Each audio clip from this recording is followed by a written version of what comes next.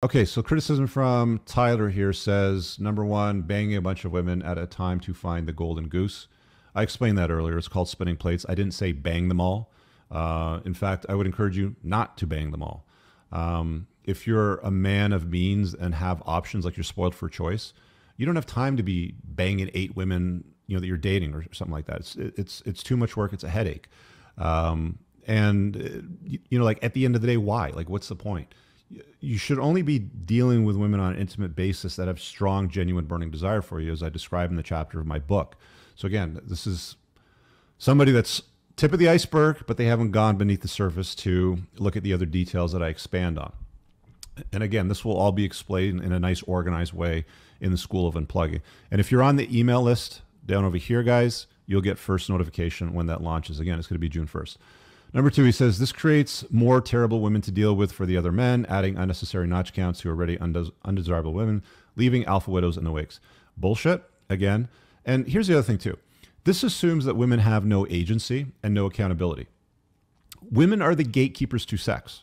Men are the gatekeepers to a relationship. Men decide when the relationship happens, women decide when intimacy happens.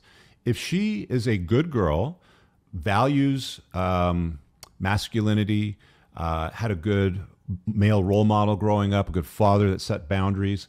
She's not going to be laying with every man that she dates. She's going to have some standards.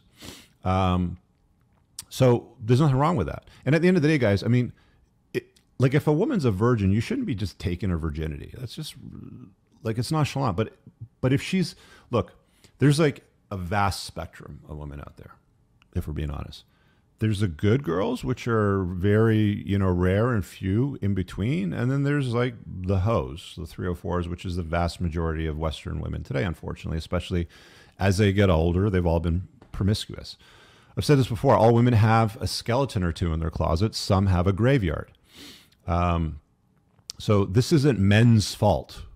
This is men indulging in what women are today. Toxic feminism has encouraged women to be promiscuous without impunity. Uh, since the advent of hormonal, hormonal birth control, uh, promiscuity has escalated. Women wanted all of this.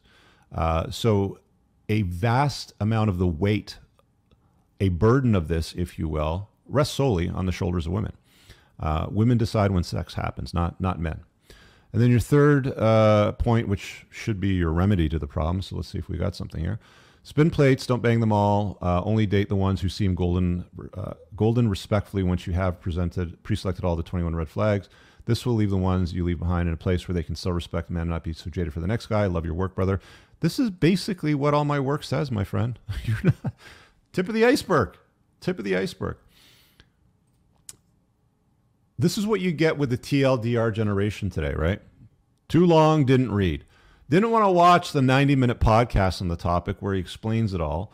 So I watched a 27 second TikTok or a 32 second reel on Instagram, a soundbite somewhere, if you will, or a little clip that somebody took out of context from a podcast interview that I did on somebody else's channel. Go down the rabbit hole, go below the waterline, and look at the entire iceberg for what it is.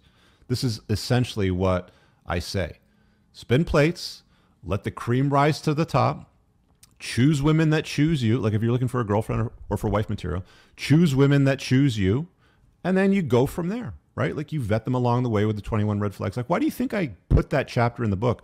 Why do you think I give the chapter away for free? To get you guys to the point where you understand what good versus bad looks like. There's nowhere in the book where I just say indiscriminately fuck everything that moves. I really hope you guys enjoyed that clip. If you want to watch the full length podcast, you can find that over here, that clip's from. If you're newer to the channel, make sure you hit subscribe over here and pin down below in the top comment. You'll find a bunch of useful links to my website, my supplement line books, and a bunch of other stuff. Have an amazing day. Peace out.